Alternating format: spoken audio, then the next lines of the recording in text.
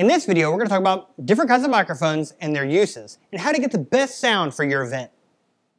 There's two main types of microphones that we rent, a dynamic microphone and a condenser microphone. The biggest difference is how close does the mic need to be to the source to pick up good sound. This is the SM58. This is our most popular rental microphone, but it's made for vocal performance or speech. To use it properly, hold it at your face within probably five, six inches. If you hold it down here, you won't hear it. If you talk into the side, you won't get good sound. Let's see why. When you remove the windscreen on the microphone, you'll see the microphone is based in the top. There is no mic really in the side. So when you speak into the side of the microphone, hello, hello, it doesn't get you. To properly use it, you want to speak directly into the mic.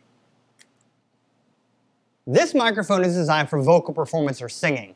Again, you want to be close to it, but not on the mic like that with your mouth. Another bad thing that people do is they cup the end of it and they speak into the end like that.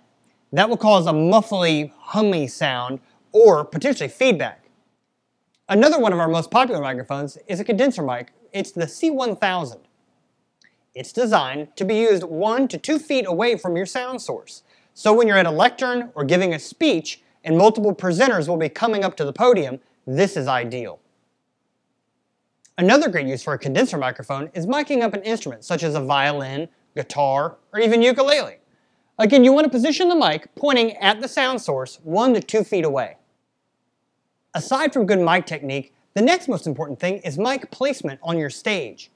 To avoid feedback, do not be in front of or directly in front of a speaker. When you do, the microphone hears itself and feeds back, and that's when you get that squeal or that low hum uh, that makes everybody look kind of like an amateur. And that pretty much covers the basics of what you need to know to use microphones properly. Follow these easy steps and your next event will be a success. Again, if you're using other components in your rental, be sure you check out the videos on how to use those properly. And don't hesitate to call us if you need one-on-one -on -one support.